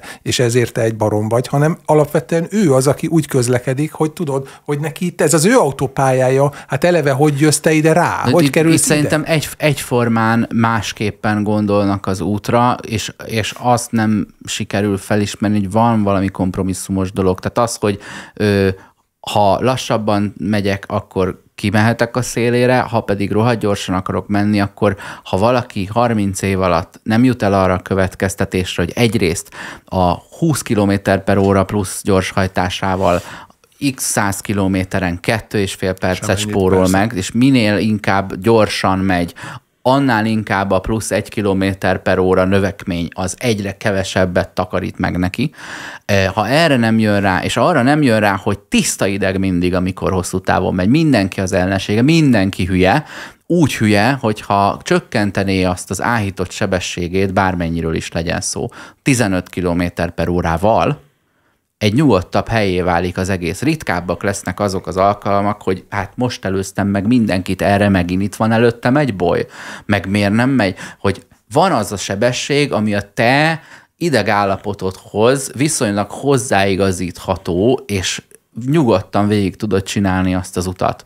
És lehet, hogy valakinek, tehát ha 200-zal ezt nem tud, de nincs olyan, hogy 200-zal tudjon valaki menni, de ha csökkentené az erre irányuló vágyát, akkor végig érezhetné, hogy az ő kocsia jobb, mint a többi, Érted? Ő a világ királya, őt senki nem előzte meg, amíg innen lement Zalaegerszegig, mert ez is fontos, és tudod, ehhez tudod, hogy mennyivel kell menni? Nem 190-nel, hanem ilyen 160-nal. De nem menjen senki 160-nal, de ha az összes ö, dekádot kipróbálnátok a 100-tól a 220-ig, akkor kiderülne, hogy abban az élményben, hogy a világ királya vagy-e, abban 160 fölött nem nagy különbség van, abban viszont, hogy hányszor leszel síkideg, hogy azt a kocsidat nem tudod itt pellengérezni és mutogatni mindenkinek, abban van különbség. Mert egyszerűen nem, nem alkalmas arra, hogy mindenkit megelőz. De én nem akarok igazat adni egyik félnek sem. Én azt gondolom, hogy a két attitűdnek az összeférhetetlensége kölcsönösen veszélyezteti az összes többi embert. Tehát, hogy hagyni kell, hogy a másik olyan legyen, amilyen. Hogyha úgy érzed, hogy te nagyász vagy, és mennél, és ő hülye, várd meg, amíg rájön, hogy hülye, és nem kell a seggében menni. Ha pedig te szeretnéd, ha mindenki más is a te attitűdöd alapján viselkedni és jönne utána, akkor gondolj rá, hogy most torlódik föl 30-50 autó mögötted, mm. és bármelyik fékez egyet egy izé, arra szálló izé, molylepke miatt, 40-en fognak meghalni. Hallottam olyan úti könyvről, amiben a magyar magyarországi közlekedésről írnak, turistáknak, azt, hogy ha sárgára vált a lámpa, nem szabad fékezned, mert balesetet okozhatsz, hiszen belét fognak menni, mert nálunk a sárgán áthajtanak. Ezt jó, ha tudod, hogy ne állj meg. A sárga nem azt jelenti, hogy meg kell állni, hanem hogy padlógázzal át kell csúsznod még azon a, tudod, mielőtt pirosra váltanak. Nem tudom eldönteni, hogy viccelsz, vagy nem, tényleg, nem, mert... nem, nem ezt jelenti nálatok a sárga? De csatúval még megállhatnál, azt Megállhatsz, jelenti. De azt is jelenti, hogy valószínűleg piros lesz, mikor áthaladsz a kereszteződésen, és ha volt kamera is, akkor ez pénzbe is fog kerülni. Érdemes felidézni a belga kocsi című számát, Na, hát amiben az a lírai én az autó, autózni óhajt, és felsorolja, hogy mi mindent tenne, ha végre lenne autója fogom a gázt, azt benyomom tövig, azért, mert az életem igen-igen rövid. Mert még száguldanék, váltanék, indexelnék és kanyarodnék, előznék, megállnék, tolatnék és parkolnék, kiszállnék, beszállnék, kinéznék és bepakolnék és kipakolnék, gyorsítanék, lassítanék, fékeznék és tankolnék, kapcsolnék, és karamboloznék, ütköznék, koccannék, vesztegetnék, és itt jön a kedvencem, súlyadóznék, utaznék, dicsekednék, szabálytalankodnék, elütnék, gázolnék, samponoznék, garázsba gyorsulnék, utcákba, bogarak, macskára rá, kutyákon át megy az út délre. 2001 a jogsiméve, a gyaloglás vége. E, e, az, hogy ő súlyadózna, az, az annyira hát csodálatos. Kellett egy kádári, egy igazán kádári, igen, tehát kádári önvallomás. Egyszerre gyilkolna, és egyszerre együttműködne. Gázolnék, súlyadóznék.